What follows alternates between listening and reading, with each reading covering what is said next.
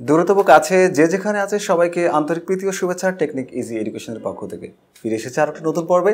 আজকের পর্বে আমরা পদার্থবিজ্ঞানের অন্যতম গুরুত্বপূর্ণ একটি চ্যাপ্টার স্থির তরিত স্থির তরিত থেকে একটি গাণিতিক সমস্যার সমাধান করব। তাহলে চলো, আমরা এক নজর আমাদের প্রশ্নটি দেখে নিই। আমাদের প্রশ্নে বলা হয়েছে যে, বায়ুতে একটি বর্গক্ষেত্রের তিনটি কৌণিক বিন্দুতে যথাক্রমে plus two into ten to the nine coulomb minus one into ten to the nine coulomb এবং plus eight into ten to nine coulomb আধান স্থাপন করা হলো। চতুর্থ কৌণিক বিন্দুতে কত আধান স্থাপন করলে বর্গক্ষেত্রের কেন্দ্রে বিভব শূন্য হবে? আচ্ছা কেন্দ্রে বিভব শূন্য হবে এটা আমাদেরকে বলে দিয়েছে। তো আমরা এখন একটা কাজ করতে পারি যে আমরা একটা বর্গক্ষেত্র এখানে অঙ্কন করতে পারি। ধরো এটা হলো একটা বর্গক্ষেত্র, যে বর্গক্ষেত্রের কথা আমাদের এই প্রশ্নে বলা হচ্ছে। আচ্ছা তো বর্গের যে চারটি কৌণিক বিন্দু, ধরো এইটা এ বিন্দু, এইটা বি এটা সি এবং এটা হচ্ছে ডি তো যদি এখান থেকে আমি দুইটা কর্ণটা নিই, তাহলে কি পাচ্ছি? কেন্দ্র বর্গক্ষেত্রে কেন্দ্র পাচ্ছি কেন্দ্র থেকে এটা ব্যাসার্ধ ধরলাম আর সব দিকে আর পরিমাণ দূরত্ব থাকবে এবং এই দূরত্বটা সমান হবে। তাহলে বর্গক্ষেত্রের কেন্দ্র থেকে প্রতিটি কৌণিক বিন্দুর দূরত্ব সমান হবে। দূরত্ব সমান হবে। ধরা যাক ধরা যাক এই দূরত্ব আর ধরলাম যে এই দূরত্ব আর তাহলে বর্গের এই কেন্দ্র থেকে প্রত্যেকটি কৌণিক বিন্দুর দূরত্ব সমান হবে এবং ধরলাম যে এই দূরত্ব হচ্ছে আর তাহলে এই যে প্রথম কোনার আধান, প্রথম কোণায় আধান। এই আধানকে আমি ধরলাম কিউ ওয়ান তাহলে কিউ ওয়ানের মান দেখো প্রশ্নে দেওয়া আছে। আমি এই মানটা লিখতে পারি।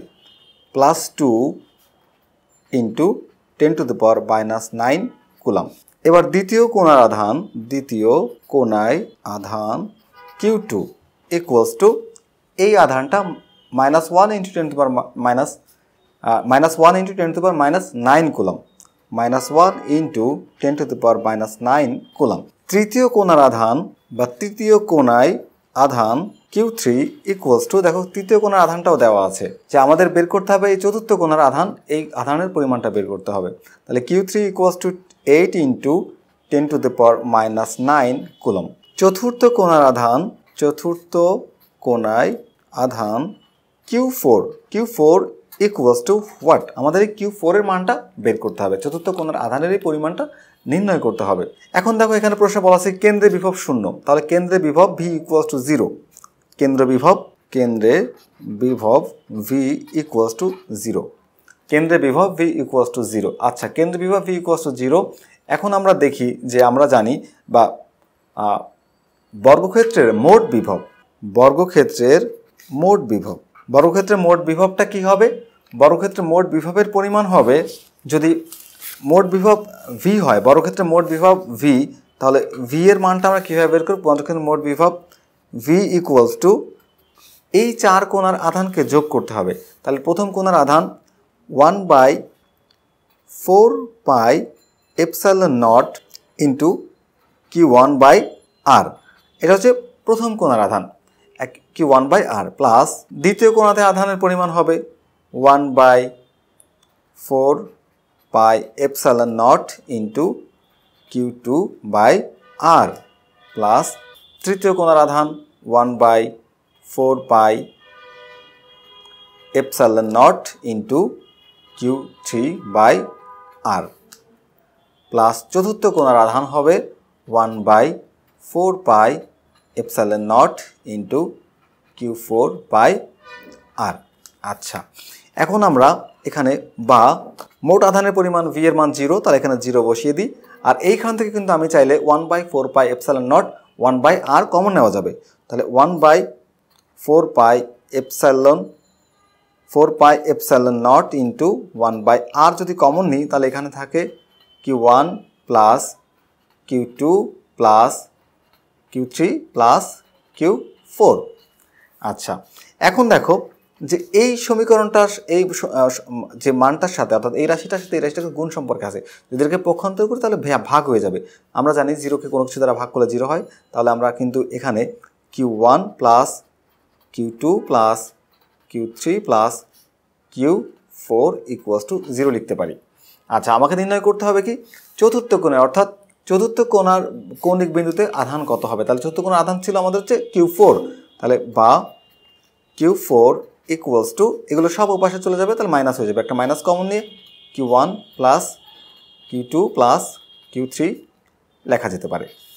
এখন আমরা যে কাজটা করব, আমরা এই আধান তিনটার মান বসিয়ে দিব। তাহলে মাইনাস কিউ ওয়ানের মান কিউ ওয়ানের মান হচ্ছে এই যে two into ten to the power nine coulomb. Two into ten to the power minus nine coulomb.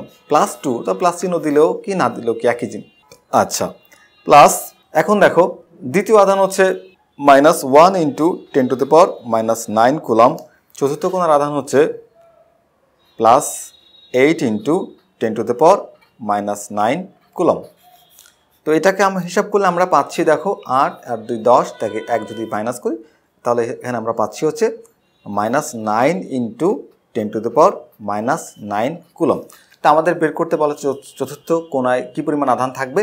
চতুর্থ কোনায় এই পরিমাণ আধান যদি থাকে, তাহলে কেন্দ্র বিভবের মানটা শূন্য হবে। তো এটা হচ্ছে আমাদের এই প্রশ্নের অ্যান্সার তো আমরা একটু সংক্ষেপে বিষয়টা আর একটু বুঝে নিই, যে বায়ুতে একটি বর্গক্ষেত্রে তিনটি কৌণিক বিন্দুতে যথাক্রমে plus two into ten nine coulomb এবং minus one into ten nine coulomb এবং plus eight into ten to nine coulomb আধান স্থাপন করা হলো। চতুর্থ কৌণিক বিন্দুতে কত আধান স্থাপন করলে বর্গক্ষেত্রের কেন্দ্রে বিভব শূন্য হবে? তাহলে আমরা একটা বর্গক্ষেত্রে এঁকেছি, দেখো বর্গের চারটি বিন্দু এ বি সি ডি তো এখানে বর্গক্ষেত্রের কেন্দ্র থেকে প্রতিটি কৌণিক দূরত্ব কৌণিক দূরত্ব এ বি সি এর দূরত্ব সমান হবে এবং সেই দূরত্বকে আমরা ধরে নিলাম হচ্ছে আর তাহলে ধরা যাক যে এই দূরত্ব হচ্ছে আর তাহলে প্রথম কোনায় আধান, প্রথম কোণার আধান কি ওয়ানের মান হচ্ছে এই যে plus two into ten to the power nine coulomb দ্বিতীয় কোণার আধান এই মানটা দেওয়া আছে প্রশ্নে minus one into ten to the power nine coulomb এবং তৃতীয় কোণার আধান plus eight into ten to power nine coulomb আধান স্থাপন করা হলো। আমাকে নির্ণয় করতে হবে চতুর্থ কোণার আধান, তাহলে লিখা, লিখতে পারি যে চতুর্থ কোণার আধান q four equals to what তো দেখো কেন্দ্র বিভাগ ভি ইকস টু জিরো প্রশ্নে বলা আছে কেন্দ্র বিভাগ ভি ইকস টু জিরো হবে, তাহলে কেন্দ্র বিভাগ ভি ইকস টু জিরো তাহলে বর্গক্ষেত্রে বর্গক্ষেত্রে মোট বিভাগ ভি তাহলে আমরা বর্গক্ষেত্রে মোট বিভাগ বের করতে গেলে কী করতে হবে? যে ভি ইকুয়াস টু চার কোণার আধানকে যোগ করতে হবে। তাহলে এখানে one by four by epsilon naught into q one by r plus one by four by epsilon naught into q two by r plus one by four by epsilon naught into q three by r r plus one by four pi epsilon naught into q four by r তো কেন্দ্র বিভাগ শূন্য V এর মান zero বসিয়ে দিলাম। এখানে আমরা কি করেছি? One by four pi epsilon naught r one by আরকে common নিয়েছি। তাহলে এখানে কিউ ওয়ান এখান থেকে কিউ টু প্লাস এখানে কিউ থ্রি প্লাস এখানে কিউ ফোর তো এইটার সাথে এটা যেহেতু গুণের সম্পর্ক, এটাকে আমরা পক্ষান্তর করে ভাগ করে দিলাম। তো জিরো হয়ে যাবে, এই মানটাও জিরো হয়ে যাবে। তাহলে q one q two plus q three plus q four equals to zero আমাদের প্রয়োজন হচ্ছে কিউ ফোরের মান। তাহলে কিউ ফোরটা থাকবে, বাকি সবাই পক্ষান্তর করব। তো এগুলো প্লাস ছিল মাইনাস হয়ে যাবে।